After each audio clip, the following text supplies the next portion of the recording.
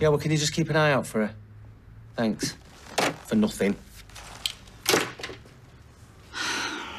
Hey, you look exhausted. You need to get your head down. Well, I'll sleep when I find my daughter. The police will do that. What am I supposed to do? Just sit here and twiddle me thumbs? Let me do your brew. I don't want a brew, Mum. Where is she? What was Tracy thinking? Maybe in her warped mind, she thought she were doing the best thing. What, by leaving her daughter with a convicted murderer? No, we don't know that for sure. No, we don't know, do we? We don't know anything. It's doing me head in. I'm gonna go and look for her. The police said stay put. I couldn't give a monkey's what the police said. I'm going.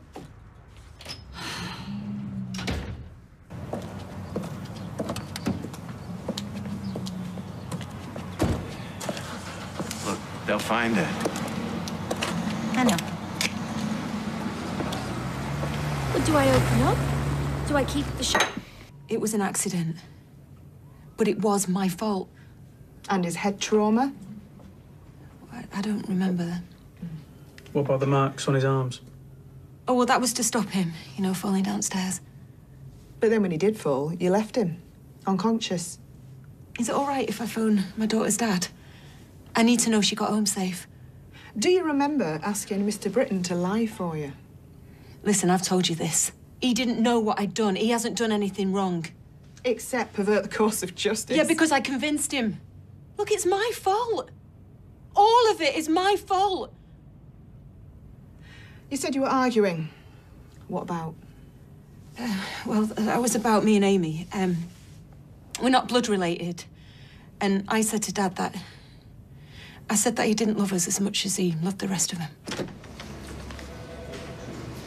For the benefit of the tape, Detective Inspector Young is present. Amy's still not home. You don't think she could be with Mr. Donovan, do you? Oh, for the millionth time, I have not seen Rob. Sorry, yeah, yeah, he did say. You'd have to be an idiot to leave your daughter with a convicted murderer who's on the run from some pretty nasty people. I mean, if they catch up with him before we do. But like you say, you haven't seen him, have you? I'm sure Amy will be fine.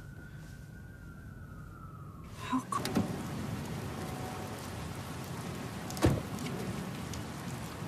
Are you doing yet? Oh, yeah, I just like having my head stuck in a car bonnet. Can't we just take it to a garage? No, we can't just take it to a garage, Amy, because someone might recognise me. In case you've forgotten, I am on the run. You think a lot yourself, don't you? You're not Joey Essex. Thankfully. Look, just leave me to get on with it, yeah? Rob, What? are you sorry? For what you did to Tina?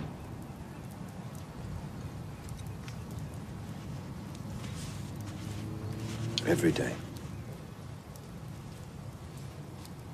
Do you even know what you're doing? Yes, I used to fix cars with a mate of mine. Let's just ring Mum and get her to pick us up. We can't do that.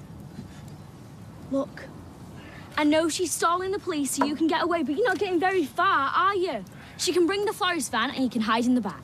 Your mum asked me to take you home, and that is exactly what I'm gonna do. Just ring her. No, You're being stupid. Give me your phone and I'll ring her. no! Why are you being so weird? Got her. The police have the arrested her for helping you. Answer me, is my mum banged up because of you? Get in the car. I'm not going anywhere with you. Get in the car, Amy. No! Fine. The police have arrested her for attacking your granddad.